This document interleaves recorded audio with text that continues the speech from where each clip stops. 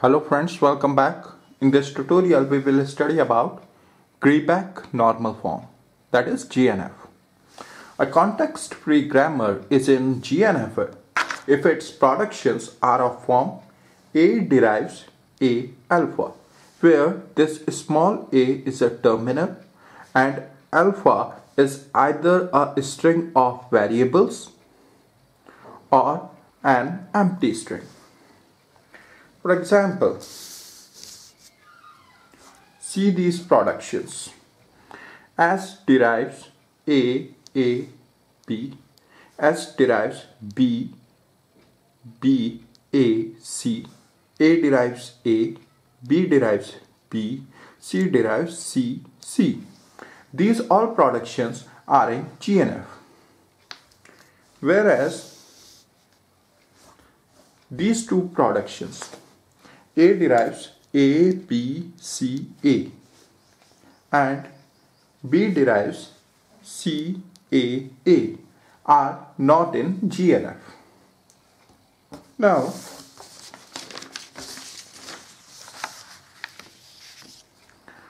every context-free language L which doesn't contain empty string can be generated by a grammar whose productions are in GNF.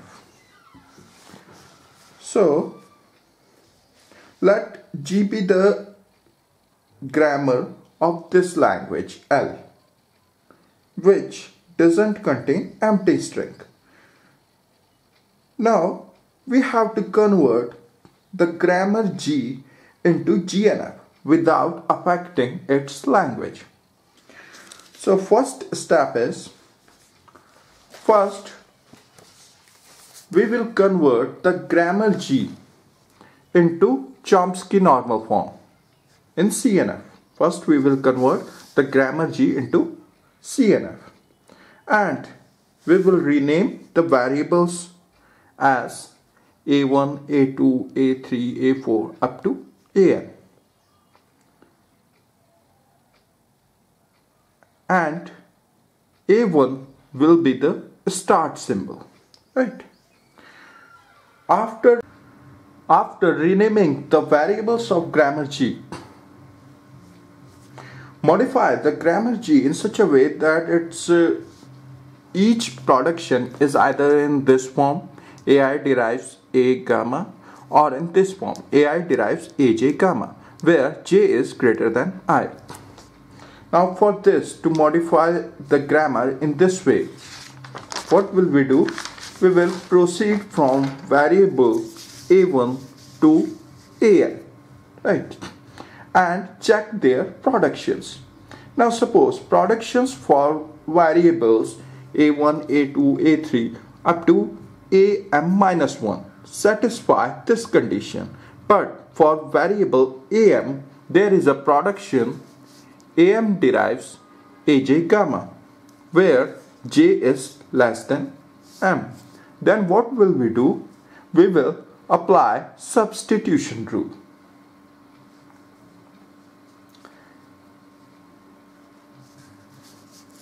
Then after applying substitution rules,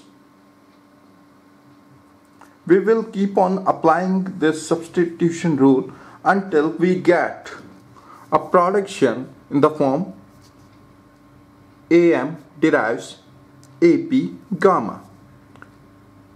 Right.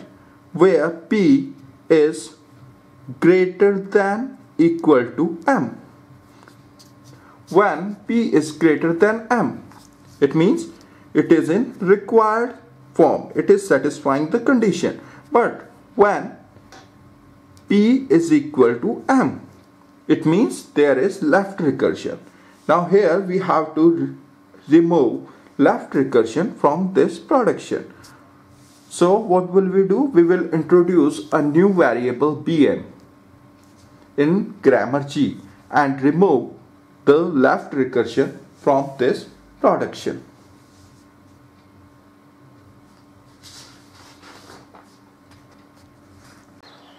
After completing step 2, we will get at last the highest number variable an having productions of the form an derives a gamma. It means all the productions of variable an will be in GNF. So what will we do now? We will start from variable a n minus 1 and proceed to variable a1 by making their productions in GNF by using substitution rule. After this, what will we do? In step 4, the variables bi which were introduced when we removed left recursion from the production of variables ai. Their productions should also be in GNF. To make their productions in GNF, we will use substitution rule. It would be more clear after this example. Suppose there is some grammar whose productions are these. These are the productions of some grammar. Now, what we have to do? We have to convert them into GNF without affecting the language of grammar G. First of all, what we have to do? We have to make the productions of grammar in Chomsky normal form but these productions are already in Chomsky normal form. So first of all what will we do? We will rename the variables of this grammar G as a1, a2, a3, a4 up to an if there are n variables right and start symbol s will be renamed as a1 so here S is renamed as A1, variable A is renamed as A2, variable B is renamed as A3. Now these productions will become A1 derives A2, A3, A2 derives A3, A1, A2 derives A, A3 derives A1, A2, A3 derives B. After renaming the variables what we have to do? We have to modify the grammar so that its productions are in the form ai derives aj gamma where j is greater than i or in form ai derives a gamma now see this production a3 derives A1, A2. It is not satisfying the condition. So here we will use substitution rule. We will replace this production by the productions which is obtained by replacing this variable a1 by the string which appears right hand side of the production of the variable a1 right? So a1 will be replaced by a2 a3 so the productions which we get after replacing after replacing a1 by a2 a3 is this one. A3 derives a2 a3 a2 now again this production doesn't satisfy this condition right? So again this production will be replaced in grammar G by the productions which are obtained by replacing this variable a2 by the string which appears right hand side of the production of the variable a2. So by applying substitution rule we will get these productions a3 derives a a3 a2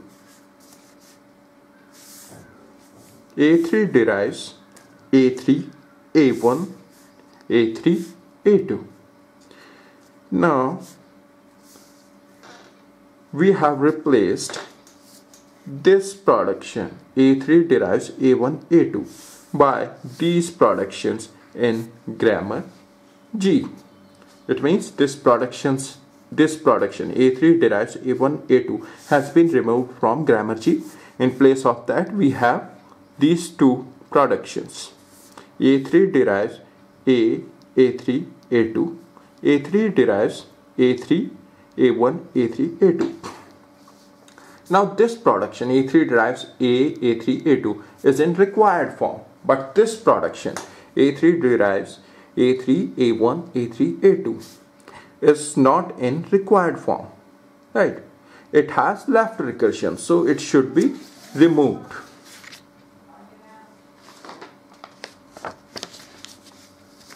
Now we have these productions for variable a3.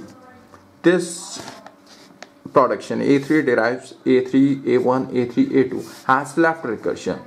Now we will introduce a new variable b3 in grammar G and eliminate left, left recursion.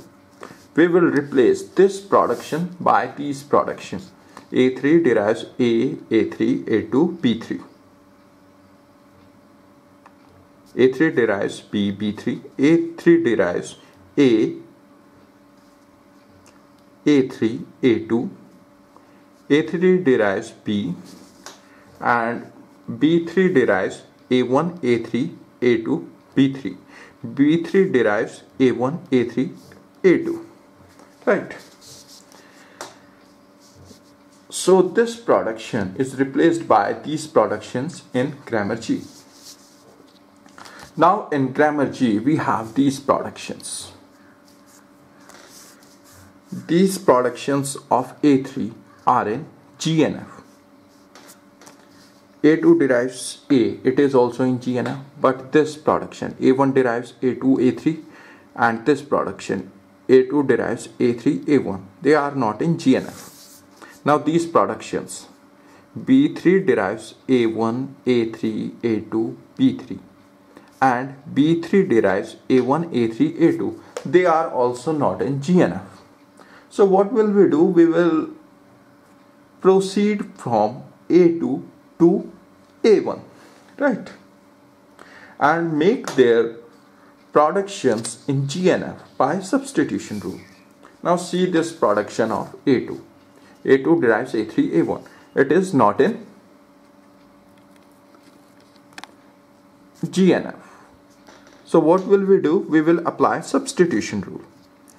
So what will we do? We will replace A3 by the string which appears at the right hand side of the production of variable A3. Right. Now A3 has these productions. Right. So after replacing A3 by the right hand side strings of production of variable a3 we will get these productions for variable a2 so this production will be removed and these productions will be added to grammar g. That is a2 derives a a3 a2 b3 a1 a2 derives b b3 a1 a2 derives a a3 a2 a1 a2 derives B, A1, A2 derives A. Now see these all productions are in GNF. Now see this production A1 derives A2, A3. It is also not in GNF. So again we will apply substitution rule and replace and uh, we will replace this production by the productions which are obtained by replacing this variable A2.